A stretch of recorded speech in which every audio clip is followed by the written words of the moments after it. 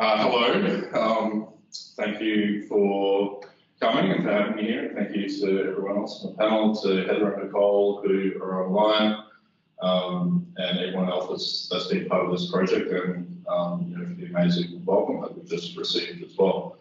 Um, this project has been uh, such an amazing thing to be a part of, not just you know for someone like myself, I guess, an early career researcher or someone that's more junior, um, to, to be a part of a, a research project like this, um, especially, you know, with Nicole and Heather when they first reached out, um, but with the other panelists here as well, and Zoe in the audience too. Uh, and I should, you know, would be remiss not to mention my co-author and long-suffering PhD supervisor, Rashan, um, who's online as well.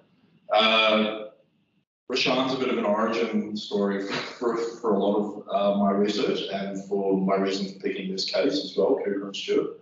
Um, I think I probably encountered it first in property law with Rashan, and um, I won't assume that you all know what Cooper and Stuart is. Uh, so it's an 1888 case from the Privy Council when we used to be able to go all the way up to the Privy Council. Um, and the short version of it is it's a bunch of rich white dudes fighting over a property grant um, and the government trying to pay, take back 10 acres that was part of that grant originally in 1823. Um, they go through successive levels of the New South Wales Supreme Court all the way up to the Privy Council and there's an argument about um, basically that the government can't take those 10 acres back, which they want to take back to build a public park for the working poor in the industrial areas of Alexandria and Waterloo in Sydney. And um, the Privy Council basically saying that the rule against perpetuities or something that you know goes on forever doesn't apply to the Crown. They're special. They can they can do what they want, and that the Coopers weren't entitled um, to compensation. Something uh, that has always kind of fascinated me, or you know, I'm a bit obsessed with this case as well, so I can find a way to fit it into any course that I'm teaching. Um, and at the moment, I'm teaching constitutional law and native title, so it kind of fits very well with both of those. Uh, but is the idea about legal foundations and how um, so much of you know what was just represented to all of us in the welcome to country today um, can be so easily ignored or you know have no uh, serious weight or relevance to the law of Australia and to our constitution. And um, so that's kind of been a constant theme that I've obsessed over for a while with this case and have approached it in a, a number of different ways uh, with Rashan and a couple of different research projects that we you know, were going to do but never did. And then uh, when Nicole reached out and said, you know, we're going to do this project, would you like to participate? Um, automatically it was Cooper and Stuart and yes, Rashan um, I'll say he'll do it, but I'll ask him that he'll do it with me as well. Um, and so it provided me you know, an opportunity to really explore that. And uh, I guess something that I was mentioning to um, colleagues here, something that my native title students are experiencing at the moment about the question why. So going through all these cases, talking about what happened, and they're still just kind of a little bit of dumbfounded or surprised. And the question is, well, why? How? How does this happen?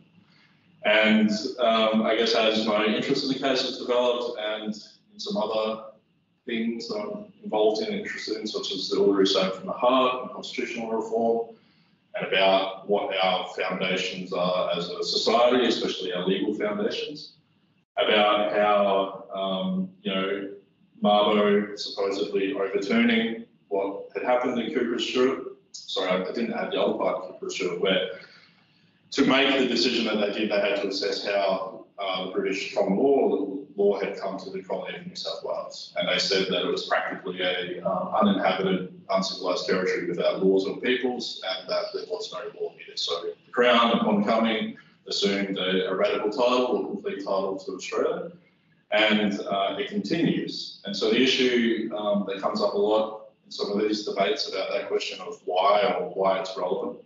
Um, a lot of us, or the symbolic kind of importance of Mabo, that it overturned this idea of terra nullius and that terra nullius no longer applies. Um, but Mabo is still very much based on the idea of terra nullius, especially from an international law perspective.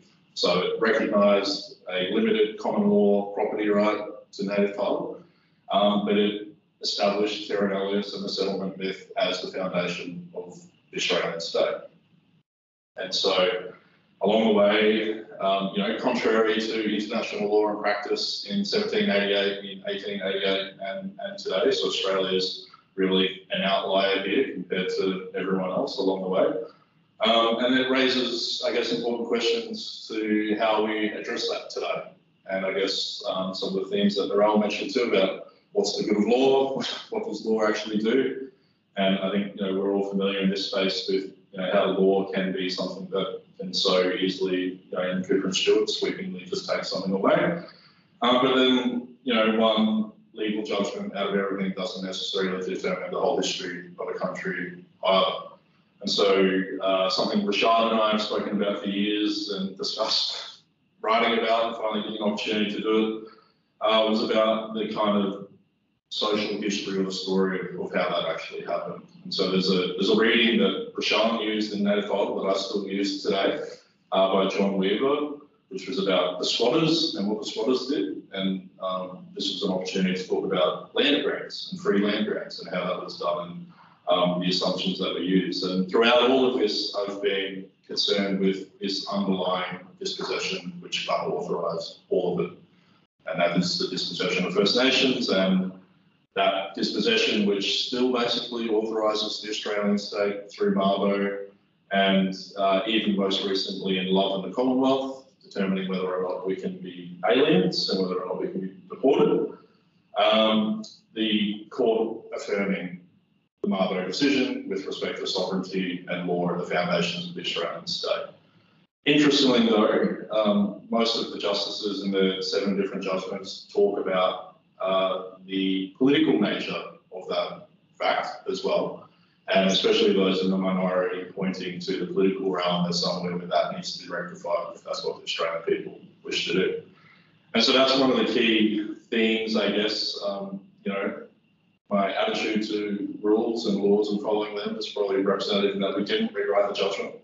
Uh, we went with something different. That was inspired a little bit by Nicole's own rewriting of Judgment in the Feminist Judgments Project, where she uh, wrote from the perspective of there having been a treaty and a specific court having established, and also uh, Irene Watson's approach in that project as well, which was that the law was not capable of hearing that and that she wouldn't rewrite it, and she wrote a commentary on that basis too. So it's about uh, trying to navigate some of those things and how it would come out. And basically coming to this point that uh, the original foundation of the law or of our law in Australia, especially the Australian Constitution, um, is the political reality or the political nature of how it was established and how it happened. And that um, ultimately there is a limit here with regards to the law, especially a foundational law such as the Constitution that you know, kind of sits above all of this, and that um, perhaps we should be, and obviously an opportunity to put my activist hat on as well and write about the Uluru Statement in my chapter, um, that we should be looking to those uh, political reform options outside the strictly legal to be able to give uh, not only representation and recognition to the original laws, to the plurality of laws that exist here in Australia, um, but to be able to um, you know, rectify those errors of the past and provide a better foundation going forward for that negotiation between peoples and between wars. Um, so it was a bit of a, a, nerd project for me in many ways to um, explore some of the deeper details of the social history of what happened. Um, you know, there's this fascinating aspect of it too. It's like a colonial drama. There's you know, some of the myths about Australia too, about our working class heritage or that, you know, we're a classless society. Here's the working class people of Sydney and Waterloo competing against this family that end up were transported as convicts, ended up as war barons within two generations, three generations.